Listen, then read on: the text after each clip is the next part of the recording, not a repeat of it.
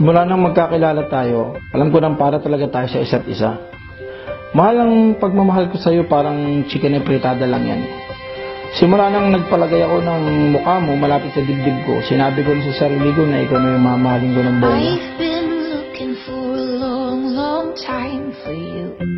Ang kahulugan ng pag-aasawa ay hindi lamang paghahanap ng kabiyak, kundi ang pagbuo ng sariling huwaran at banal na pamilya.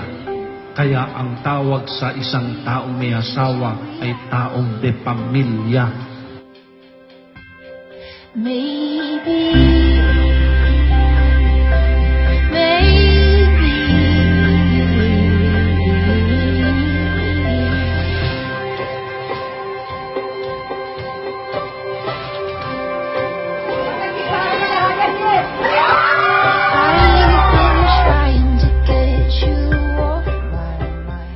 Meljan, I choose you to be no other than yourself, loving what I know from you, and trusting who you will become. I will respect and honor you always and in all ways.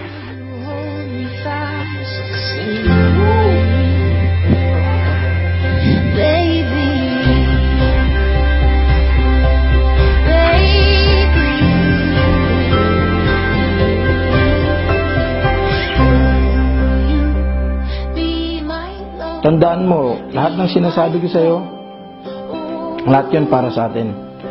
Madami-dami na din yung pinagdaanan nating dalawa at lahat ng yun nalampasan natin dahil sa pagmamahalan natin. Itong araw na to, simula to ng panibu- panibagong buhay natin bilang mag-asawa. Lagi mong tatandaan, kahit sa kabilang buhay, ikaw pa rin yung pipiliin kong mamahalin. Yung chicken na fritada, wala yun, naalala ko lang yung ulam natin kagabi.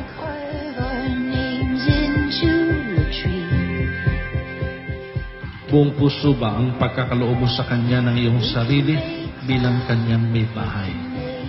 Opo, Father. Somewhere in between.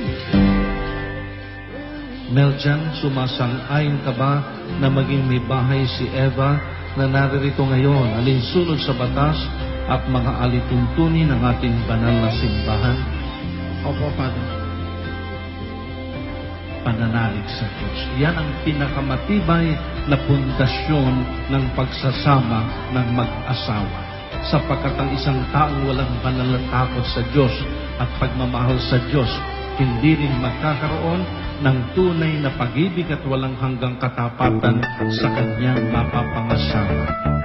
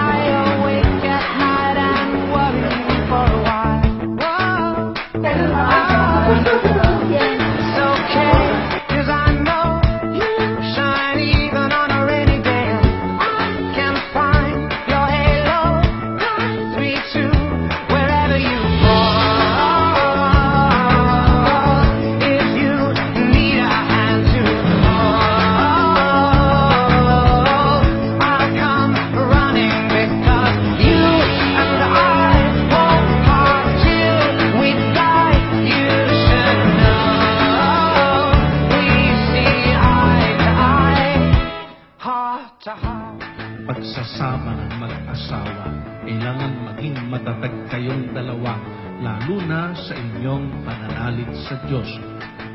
Kaya ang payo ko sa inyo, magsimba linggo-linggo. Your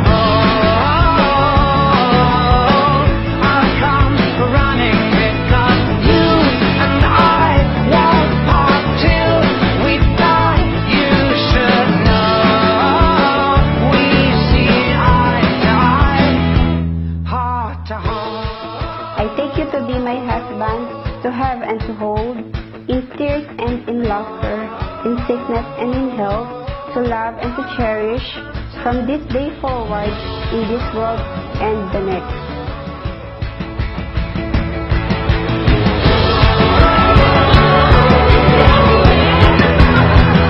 Wherever you fall